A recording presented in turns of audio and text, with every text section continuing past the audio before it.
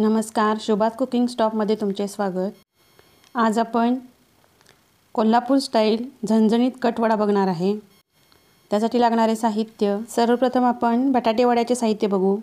इथे मी तीन हिरव्या मिरच्या घेतलेल्या आहेत आणि सहा ते सात लसणीच्या पाकळ्या घेतलेल्या आहेत. त्या आपण मिक्सरमधून काढून घेऊ. आणि स्मॅश केलेल्या या बटाट्यामध्ये आपण ही पेस्ट घालणार आहे. शिवाय यामध्ये आपण एक चमचा जिरेपूड घातलेली आहे. आणि चवीनुसार मीठसुद्धा घालायचे आहे. बटाटे मी उकडून घेतलेले होते. बटाटे आपण चांगले उकडून घ्यायचे आहेत. यामध्ये आता आपण मगाशी तयार केलेली पेस्ट घालायची आहे.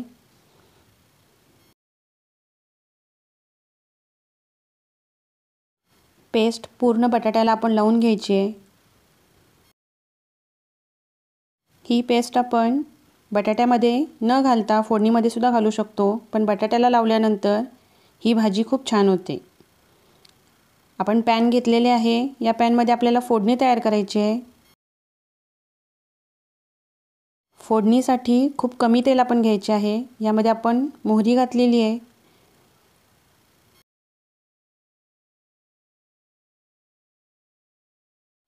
भाजीसाठी आपण खूप कमी तेल वापरायचे आहे. इथे मी दोन ते तीन चमचेच तेल घेतलेले आहे. यामध्ये आता आपण पाव चमचा हिंग घालूयात आणि किसलेले आले मी यामध्ये घालणार आहे. मागाशी केलेली पेस्टसुद्धा आपण फोडणीमध्ये घालू शकतो. पण बटाट्याला लावल्यानंतर ही भाजी खूप छान होते. किसलेले आले पण चांगले परतून घेतलेले यामध्ये आता आपण अर्धा ते पाऊण चमचा हळद घालायची आहे. त्यानंतर यामध्ये आपण बटाटे घालायचे आहेत.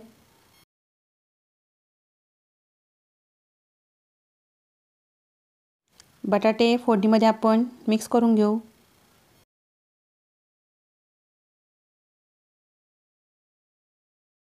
यामध्ये मी तळलेले कढीपत्ते यामध्ये घातलेले आहेत. कढीपत्ते अशा प्रकारे तळून आपण वरून घालणार आहे जेणेकरून याची चव खूप छान लागेल. तुम्ही बघू शकता बटाट्याच्या भाजीला किती छान रंग आलेला आहे. दोन मिनटे आपण भाजीला वाफ देऊन घेणार आहे. भाजी तयार झालेली आहे. अशा प्रकारे ते आपण स्मॅश करून घ्यायचे जेणेकरून बटाटे चांगल्या प्रकारे मिक्स होतील आणि आपल्याला त्याचे वडे तयार करता येतील. भाजी आपण गार करून घेतलेली आहे. हातानेच आपण ती अशी मिक्स करून घ्यायची आणि याचे गोळे आपण तयार करणार आहे. आपल्याला आवडत असतील त्या आकारामध्ये आपण गोळे तयार करायचे आहेत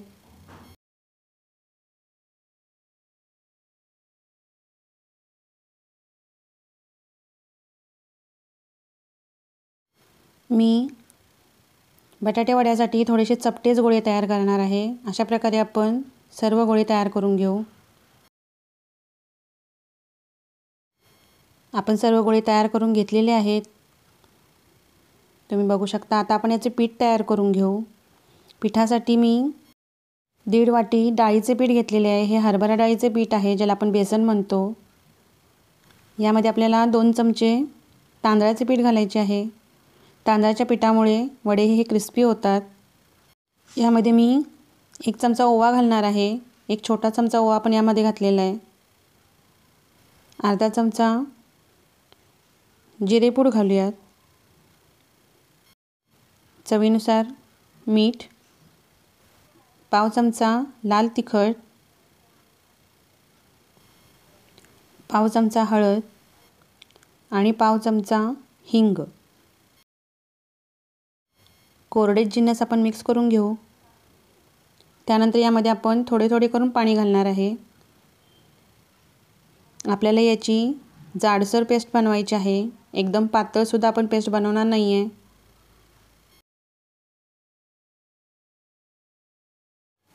तुम्ही बघू शकता आपले पीठ आता बरोबर तयार झालेले आहे.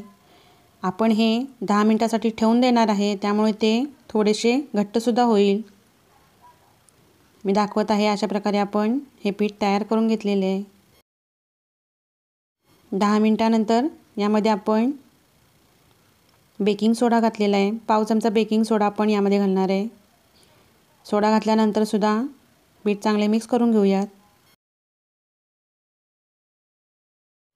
आता आपण याचे वडे तयार करून घेऊ. मी चमच्याच्या साह्यानेच हे वडे तयार करणार आहे.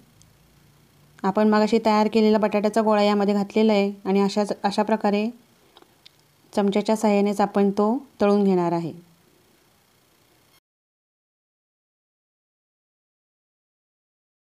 बटाटे वडे तळत असताना तेल हे चांगले गरम असले पाहिजे आणि त्यानंतर मध्यम आचेवरती आपल्याला हे वडे तळून घ्यायचे आहे.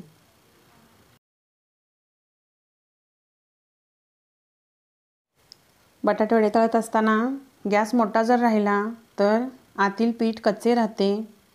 त्यामुळे वडे हे मध्यम किंवा मंद आचेवरतीच तळायचे. आहेत तुम्ही बघू शकता वड्याला आपण गोल्डन ब्राऊन होईपर्यंत तळलेले आहे. खूप छान क्रिस्पी असे वडे आपण तळून घ्यायचे आहेत. आपले वडे तळून तयार आहेत. एका वेळेला आपण दोन ते तीन वडे तळू शकतो. किंवा एक एक वडा करून आपण यामध्ये घालायचा आहे. सगळे वडे हे आपण लालसर रंग येईपर्यंत तळलेले आहेत. जर तुम्हाला आवडत असतील तर पिवळट रंगामध्ये सुद्धा तुम्ही हे वडे तळून काढू शकता. आता आपण वडे टिश्यू पेपरवरती काढून घेऊ. आपले वडे तयार आहेत. आता आपण कट तयार करू. इथे मी पॅनमध्ये दोन चमचे तेल घेतलेले आहे. यामध्ये आपल्याला तीन ते चार कांदे उभे चिरून घालायचे आहेत.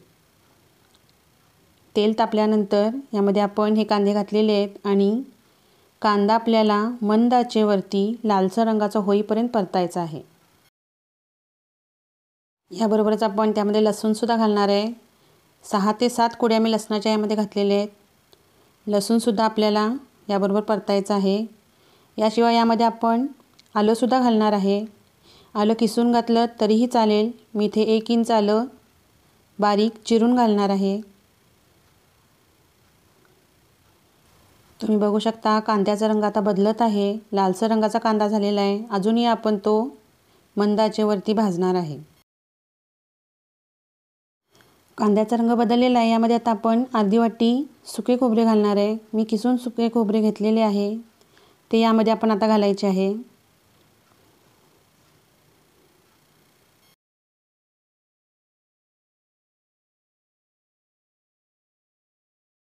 सुके खोबरेसुद्धा आपल्याला चांगल्या प्रकारे परतून घ्यायचे आहेत. थोडासा लालसर रंग कांद्याला येईपर्यंत आपण हे मिश्रण परतणार आहे. तुम्ही बघू शकता कांद्याचा रंग आता पूर्णतः बदललेला आहे. लालसर रंगाचा कांदा झालेला आहे.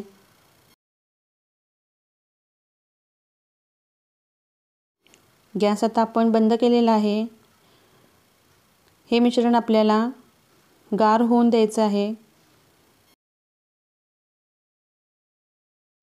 प्लेटमध्ये आपण हे कांद्याचे मिश्रण काढून घेऊ आणि ते गार होण्यासाठी ठेवून देऊ. मिश्रण गार झालेले आहे ते आता आपण मिक्सरमधून काढून घेणार आहे. यामध्ये अजिबात आपण पाणी घालणार नाही आहे याची आपल्याला बारीक पेस्ट बनवून घ्यायची आहे. कढईमध्ये मी तीन ते चार चमचे तेल घेतलेले आहे. यामध्ये आपल्याला कट तयार करायचा आहे. तेलामध्ये जिरे मोहरी घालून त्याची आपण फोडणी तयार करून घेऊ. पाव चमचा हिंग घालूयात.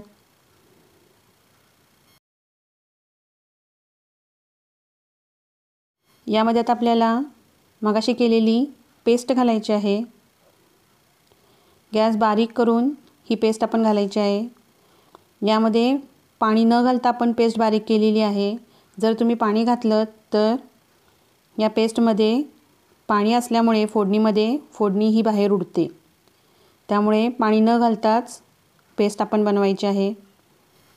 जर पाण्याचा अंश राहिला तर फोडणी घातल्या घातल्या कढईवरती ताट ठेवायचे आहे.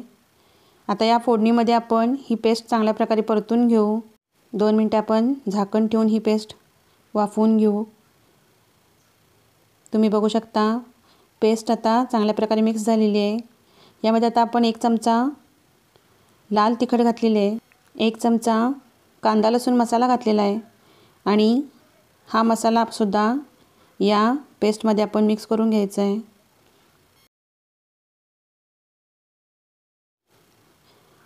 मसालेसुद्धा फोडणीमध्ये चांगल्या प्रकारे मिक्स करून घेऊयात. एक दोन मिनटं आपण झाकण ठेवून हे मसालेसुद्धा वाफवून घ्यायचे आहेत. तुम्ही बघू शकता आता आपला मसाला तयार झालेला आहे. यामध्ये आता आपण गरम पाणी घालणार आहे. आपल्याला यामध्ये पाच वाट्या पाणी घालायचे आहे. याची कन्सिस्टन्सी आपल्याला थोडीशी पातळच ठेवायची आहे. कारण कटवडा करत असताना कट हा थोडासा पातळ असावा लागतो.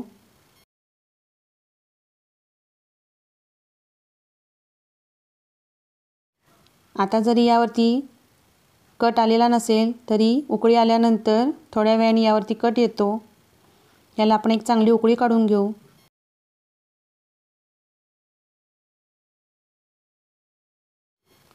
सतत आपल्याला हलवत ठेवायची आहे. तुम्ही बघू शकता चांगल्या प्रकारे आता उकळी आलेली आहे.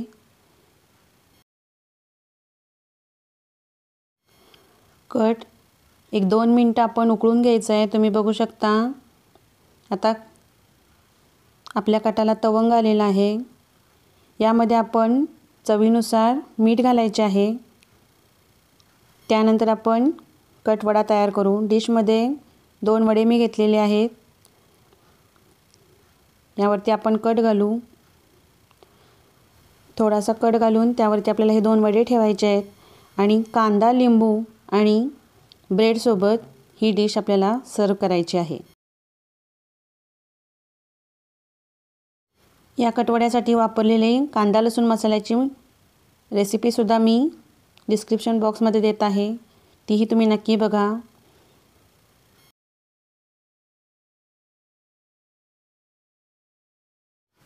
पावसाळ्यामध्ये काहीतरी झणझणीत खायची इच्छा झाली तर ही रेसिपी तुम्ही नक्की ट्राय करा. कटवड्यामध्ये थोडीशी शेव आणि बारीक चिरलेला कांदा मी घातलेला आहे. आपला कोल्हापूर स्टाईल झणझणीत कटवडा तयार आहे. तुम्ही ही नक्की ट्राय करा. कटवडा माझ्या पद्धतीने. रेसिपी आवडली तर नक्की लाईक करा शेअर करा आणि माझ्या चॅनलला सबस्क्राईब करा.